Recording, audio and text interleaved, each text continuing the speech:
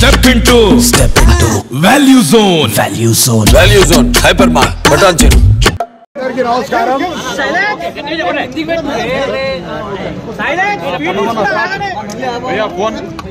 యశోధర హాస్పిటల్లో మా నియోజకవర్గానికి సంబంధించిన ఒక పేషెంట్ చూడడానికి వచ్చిన.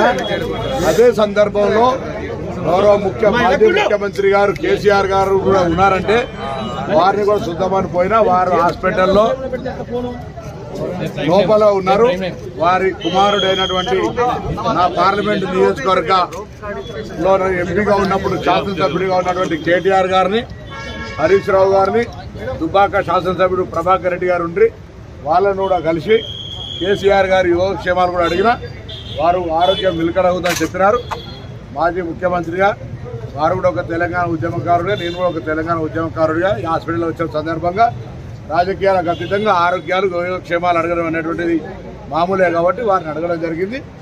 ఇందులో ఏం రాజకీయం లేదు. నేను నా నియోజకవర్గ పేషెంట్ చూడడానికి వచ్చిన వారిని కూడా చూడడానికి వెళ్ళినా. వారు ఇన్సైడ్ లోపల హాస్పిటల్లో ట్రీట్మెంట్ సమస్య ఉన్నది కాబట్టి వారి కొడుకును కలిసి వారి నా తరఫున తొందరగా కోలుకోవాలని కోరుకోవడం జరిగింది. లేదు, అదే వాళ్ళ వాళ్ళ కొడుకు చెప్పిన నేను కేసీఆర్ గారిని కలవలేదు.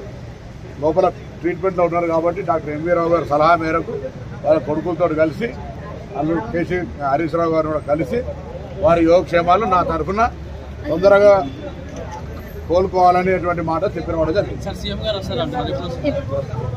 ట్వెల్వ్ థర్టీ తర్వాత వస్తారు.